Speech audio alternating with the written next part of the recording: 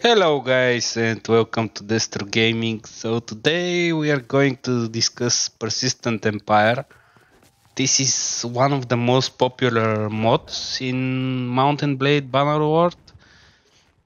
And a lot of people are interested in this because it offers a, a variety of things to do. It offers roleplay, it offers farming, it offers crafting, it offers fighting like sieging, mass fights, small fights.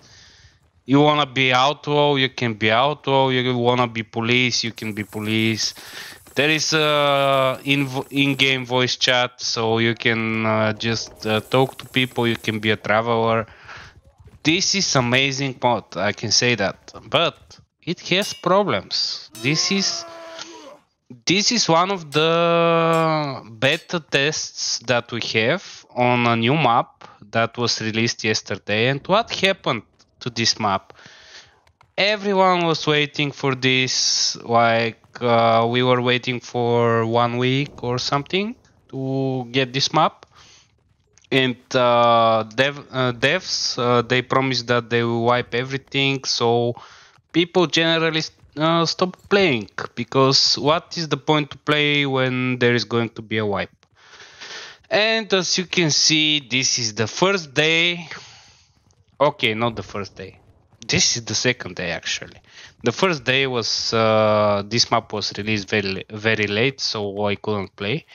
But this is the second day of uh, this map, so I tried uh, to give it a go.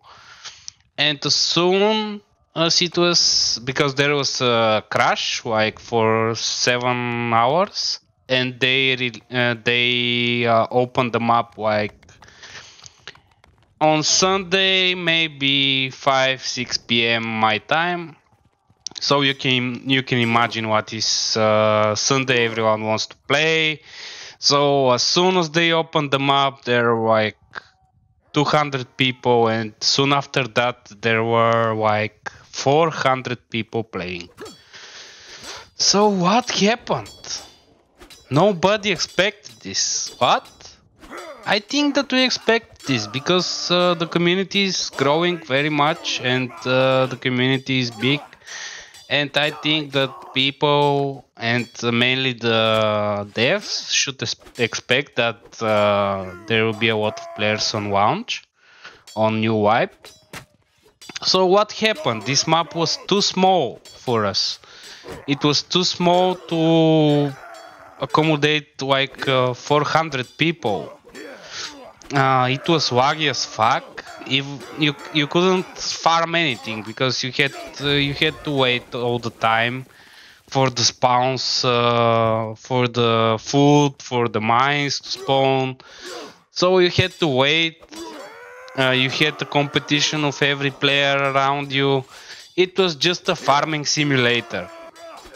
But what I have to say, I have to say that uh, the dev team, the admin team are great. Why?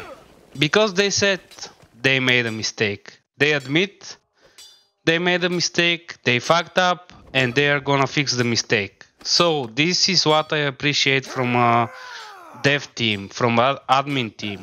I appreciate communication with the community. I appreciate uh, taking the community feedback, and I appreciate communication with the community. And if you make a mistake, it's normal. It's normal thing. We're humans. You make a mistake, we will forgive you, but admit it. You made a mistake, you fucked up. Okay, great, no problem. We are going to wait. So what what is happening right now? Right now, we are going to go back to the previous map because it was uh, a lot better for newer, for like big communities. And we will keep developing the mod.